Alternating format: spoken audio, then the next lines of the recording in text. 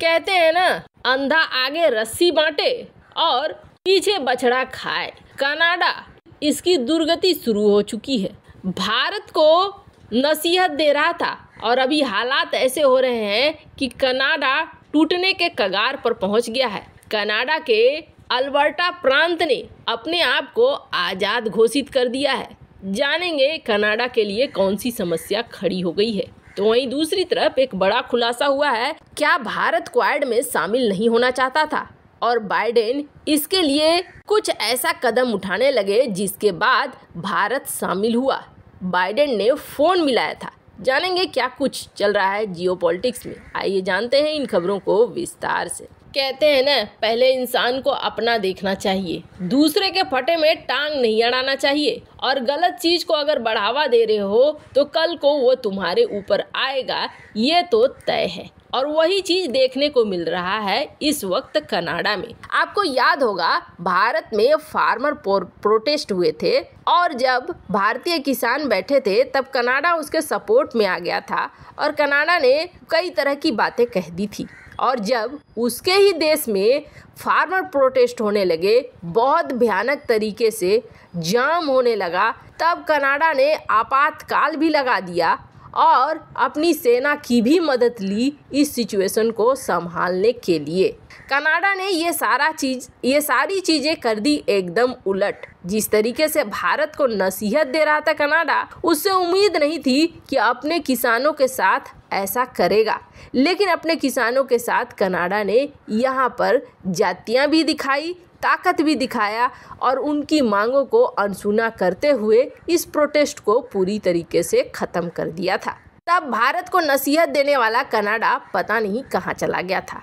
और अभी भी कनाडा में ये देखा जाता है कि भारत विरोधी तत्व बहुत आसानी से फलते फूलते हैं। जैसे भारत में खालिस्तान की मांग करने वाले, वहाँ पर वोटिंग करवाते हैं।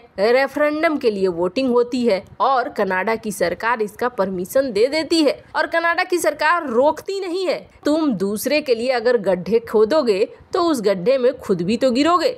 अगर दूसरे देश के लिए टूटने वाली बात का समर्थन कर रहे हो तो तुम्हारा भी देश टूटेगा। ये तो बिल्कुल निश्चित है। और ऐसा ही हो गया है कनाडा के साथ। कनाडा ने जो चीज़ भारत के लिए बढ़ावा दी, उस चीज़ को अब खुद कनाडा झेल रहा है और वो भी रातों रात कनाडा में एकदम से हंगामा सा हो गया है। एक राज्य ने अपने आप को एकदम से आज़ाद बता दिया है और ये राज्य कोई और नहीं है, बल्कि अल्बर्टा है। इसने कह दिया है कि हमने अपने विधानसभा में, जैसे हमारे यहाँ राज्य है, विधानसभा है, वैसे ही उनका भी सीनेट है। उन्होंने कहा कि हमने अपने यहाँ एक कानून पास कर दिया है और इस कानून के अनुसार हम आज़ाद हैं किसी भी कानून को मानने के लिए और नहीं मानने के लिए। मतलब ये है कि जस्टिन टूडू अगर बैठकर केंद्र में ये फैसला लेते हैं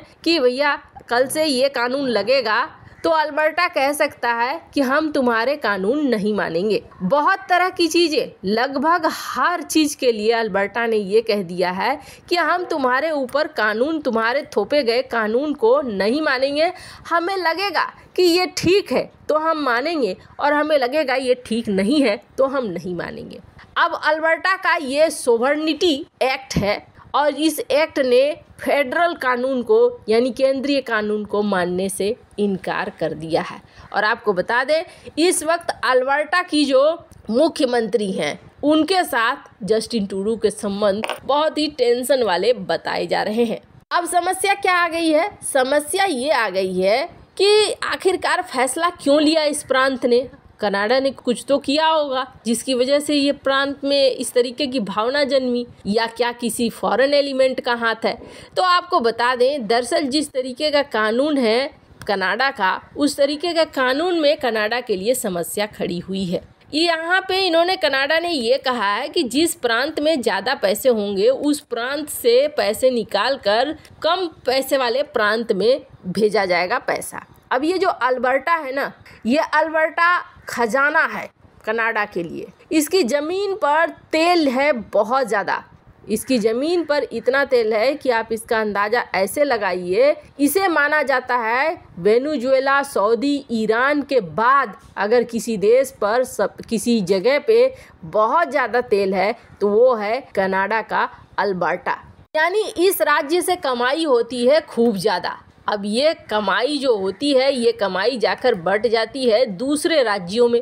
अब अल्बर्टा कह रहा है कि नहीं, कमा रहे हैं हम और बटेंगे दूसरे राज्यों में, ये चीज़ हम नहीं होने देंगे। हम अपने हिसाब से चलेंगे। जल्द से जल्द आप हमारी बातों को मानो और अगर आप नहीं मानते हो तो हम अल्बर्टा के लिए फ्रीडम रेफरेंडम लाएँगे। यानी अल्बर्टा को पूरी तरीके से काट देंगे कनाडा से। दूसरों के लिए जो गड्ढा खोदता है, वो अपने गड्ढे में खुद ही गिरता है। इस बर्टा का फ्रीडम कॉन्वॉय, ये वो हिस्सा है, जब फार्मर प्रोटेस्ट चल रहा था कनाडा के अंदर, तब इन लोगों ने भी हिस्सा लिया था। और अब कनाडा में ये अलग थलग होने की बात खैर। जहाँ एक तरफ़ ये सब कुछ हुआ है तो वहीं दूसरी तरफ़ एक बड़ी ही चौंकाने वाली खबर आई है। और ये चौंकाने वाली खबर किसी और ने नहीं, बल्कि अमेरिका के महत्वपूर्ण मंत्रालय से आया है। अमेरिका के महत्वपूर्ण मंत्रालय ने ये कहा कि भारत का जो ब्यूरोक्रेसी है, उसमें बहुत सारे ऐसे लोग थे जो नहीं चाहते थे भारत क्वाड में शामिल हो। भारत इस क्वाड में शामिल नहीं होना चाहता था, क्योंकि क्वाड को लेकर भारत में दुविधा थी। हमने हाल ही में देखा, डॉक्टर एस जयशंकर ने कहा था क्वाड के देश तो कश्मीर पर हमारा साथ देना छोड़ दो, हमारे मैप को भी नहीं मानते हैं। तो ये बात तो साफ़ दिख रही है कि क्वाड को लेकर भारत के अंदर एक संशय है। और इसी बात को कैंपबेल ने कहा। कैंपबेल ने कहा कि भारतीय ब्यूरोक्रेसी के लोग क्वाड के पक्ष में नहीं थे, लेकिन भारत को क्वाड में शामिल करने के लिए सीधे राष्ट्रपति बाइडेन ने पीएम मोदी से सीधे तौर पर इससे जुड़ने की अपील की। मतलब कि ऐसे ही ज्वाइन कर लिया है, ऐसा नहीं, बल्कि सीरियस तरीके से क्वाड में साथ आए पीएम मोदी। और पीएम मोदी साथ आकर आगे बढ़े ताकि हमारे रिश्ते और भी ज़्यादा मज़बूत हो और हम मिलजुल कर काम कर सके। क्वाड को लेकर तो अभी तक भारत भी आश्वस्त नहीं है, क्योंकि क्वाड सिर्फ़ अपनी बात करता है, न कि सबकी बात करता है। वैसे आपको बता दें, ये वही अधिकारी हैं जिन्होंने ये कहा है कि भारत अपनी खुद की महाशक्ति बनने के पक्ष में है। वैसे आपको बता दें, इन्होंने इस बात को भी कहा कि भारत और अमेरिका का संबंध सिर्फ़ चीन के लिए नहीं होना चाहिए। अगर सिर्फ़ चीन के लिए होता है तो ये ज़्यादा दूर तक नहीं चलेगा। बल्कि ये स्पेस के क्षेत्र में, डिफेंस के क्षेत्र में और भी कई क्षेत्रों में आगे बढ़ना चाहिए, ताकि दोनों के तालमेल बने और तालमेल बनकर इस दुनिया में लोकतंत्र ज़िंदा रह सके। भारत भी एक लोकतंत्र है और अमेरिका भी एक लोकतंत्र है और काफ़ी पुराने लोकतंत्र हैं दोनों ही। क्वाइड के बारे में आपकी क्या राय है? क्या क्वाइड ज्वाइन करना सही है या नहीं? कमेंट कर अपनी राय ज़रूर बताएँ।